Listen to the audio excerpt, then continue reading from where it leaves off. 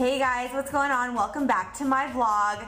Now, so many of us have been so obsessed with what's going on with Robsten. Are Robert Pattinson and Kristen Stewart together? Are they a couple? Are they just acting? What's going on? That no one really stopped to think about whatever happened to Kristen's ex-boyfriend, Michael Angarano. Now, we reported back in the day that they had been together for quite a long time.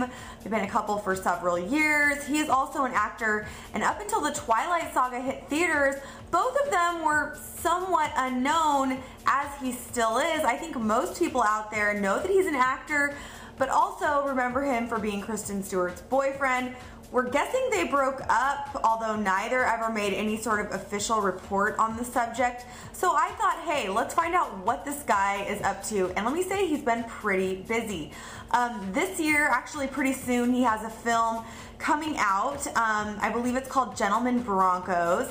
And it's kind of like a funny Napoleon Dynamite sort of a movie funny costumes, very, they're saying Midwestern, whatever that means.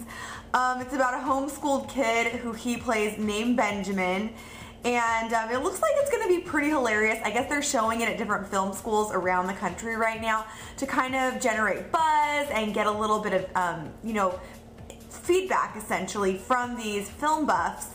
Not really sure what people are saying, but it's set to hit theaters on October 30th I'm guessing in limited release because it seems sort of like an edgier, more artistic film. Um, but Napoleon Dynamite ended up doing really well, so maybe this will also.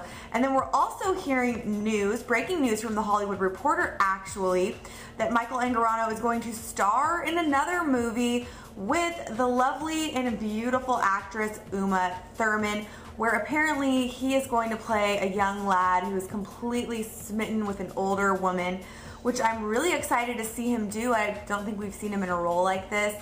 Um, so either way, regardless of where him and Kristen stand, Clevver TV is wishing him all the best in his career.